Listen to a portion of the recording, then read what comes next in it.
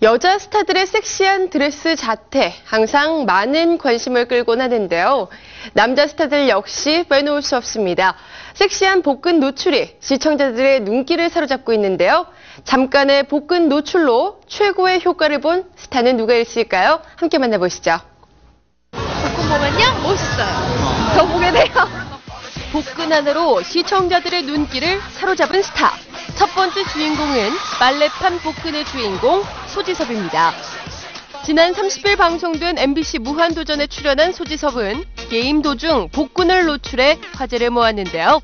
복근을 본 무한도전 멤버들이 소지섭의 배 위에서 빨래를 하는 신용을 해 복근 빨래판이라는 별칭을 붙여주기도 했습니다.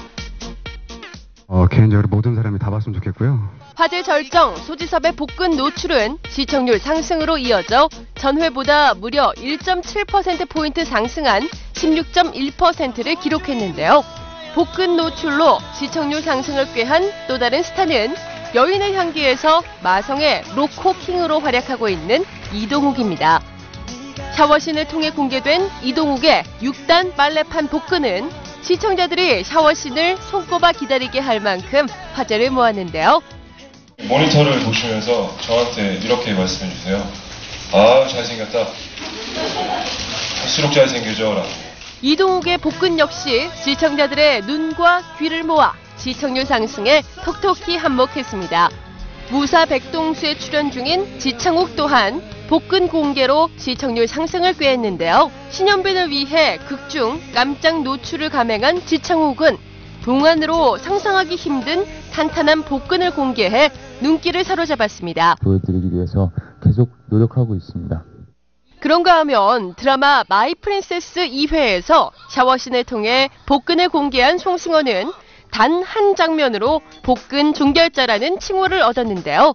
송승헌 씨는 뭐니 뭐니 해도 가슴이죠. 예, 우리 송승헌 씨는 가슴 라인이 상당히 매력적인 배우라고 생각해요. 식스팩이 선명하게 드러난 송승헌의 복근은 촬영 당시 현장 스탭들에게도 놀라움과 감탄을 안겼다는 후문인데요. 덕분에 방송 초반임에도 불구하고 19.8%라는 높은 시청률을 기록했습니다. 남녀노소 다양한 팬층에게 고루 사랑받는 복근하면 단연 원빈을 빼놓을 수 없는데요. 원빈이요. 왜요 왜요? 멋있어요. 어때 어때? 최고 최고 너무 완벽하게 잘 빠졌어요. 네, 저 원빈이요. 원빈 왜요? 원빈 멋있잖아요.